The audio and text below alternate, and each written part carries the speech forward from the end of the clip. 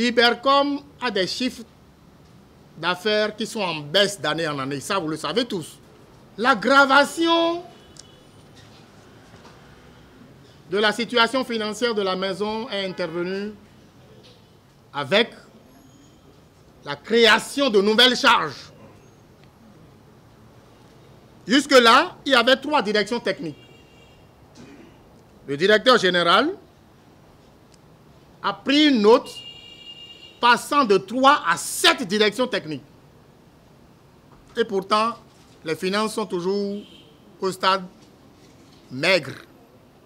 Puis, a créé des postes de responsabilité passant de 26 à 54 avec effet financier immédiat et important. Chez eux là-bas, nous avons trouvé quelque chose de curieux. Il suffit que le directeur général vous nomme à un poste de responsabilité et aussitôt, on vous reclasse dans le corps supérieur. Il y en a même qui avaient que le BTS et qui se trouvent être reclassés dans la catégorie de ceux qui ont le bac plus 5. Nous nous sommes euh, évertués à vérifier les diplômes des membres du conseil du comité de direction. Le directeur général, la directrice euh, des ressources humaines, le directeur de ceci, de cela, etc., etc. Puis, nous avons été surpris. Nous avons deux cas précis. Le directeur général lui-même, la directrice des ressources humaines, qui nous ont produit des diplômes qui ne sont pas éligibles dans le secteur public au Bénin. Les Nigérians s'interrogent sur l'état de santé de leur président Muhammadu Buhari qui a repoussé son retour de vacances au Royaume-Uni pour raisons médicales, laissant le champ libre aux pires rumeurs. L'ancien général de l'armée, âgé de 114 ans, devait initialement reprendre le travail ce lundi dans la matinée à Abuja, la capitale administrative du Nigeria. Mais dimanche soir, son cabinet a annoncé qu'il prolongerait son séjour à Londres sur recommandation de ses médecins en attendant les résultats d'examens médicaux effectués. Conséquence, la psychose gagne la population. On doit s'inquiéter parce que c'est le numéro un du pays. Quelqu'un malade comme ça, nous devons prier pour lui pour qu'il puisse se remettre rapidement. Comme ça, il reviendra et continuera son travail. Le gouvernement nigérian peine à convaincre que le président se porte bien et a même dû démentir à plusieurs reprises des rumeurs persistantes sur les réseaux sociaux et dans les médias selon lesquelles il serait gravement malade, voire décédé pendant son séjour.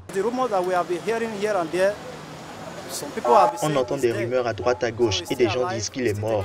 Est-il encore en vie? Suit-il un traitement? On ne sait pas trop ce qui se passe. On sait par contre ce que le Nigeria traverse en ce moment. Depuis qu'il est arrivé au pouvoir, depuis deux ans, beaucoup de choses ne vont pas bien. La santé du chef de l'État est une question sensible au Nigeria.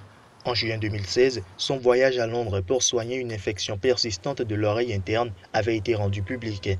Le président a également annoncé le mois dernier qu'il devait se soumettre à des bilans de routine, mais Boiri et son parti All Progressive Congress n'ont pas réussi à mettre un terme aux rumeurs les plus pessimistes.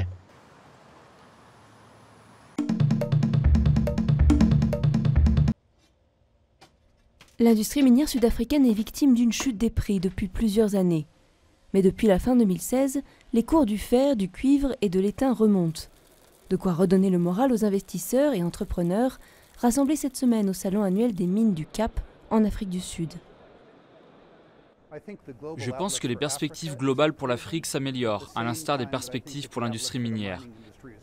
Il ne s'agit pas d'une amélioration dans les mêmes proportions que durant la dernière décennie, mais juste par rapport à ce qu'on connaît depuis 2-3 ans. D'après la Banque mondiale, le pire est passé. La reprise de la demande venue de Chine et la baisse de la production globale ont permis une remontée des prix. Et la banque table même sur des bons de 11% des cours des métaux cette année. Cette idée de l'Afrique qui monte est vraiment venue du dernier boom des matières premières en Afrique. Donc s'il y a un nouveau boom, ça pourrait potentiellement transformer les économies africaines. Mais certains experts restent prudents, encore échaudés par les ravages causés par la chute des cours. La plupart d'entre nous pensent que nous avons quasiment atteint un niveau viable. Mais bon, nous sommes nerveux. L'industrie a injecté 3500 milliards de dollars durant les 12 dernières années et l'essentiel de cet argent ne générera jamais de profit. Et ils se sont fait taper sur les doigts, il n'y avait plus de financement, beaucoup d'entreprises ont fait faillite, beaucoup ont dû fusionner ou licencier, donc les gens sont sur leur garde. Les difficultés du secteur des mines sont en partie responsables du ralentissement de la croissance sud-africaine, bloquée à 0,2%. Mais aujourd'hui, la reprise des prix permet de croire en des jours meilleurs pour l'économie du pays et du continent.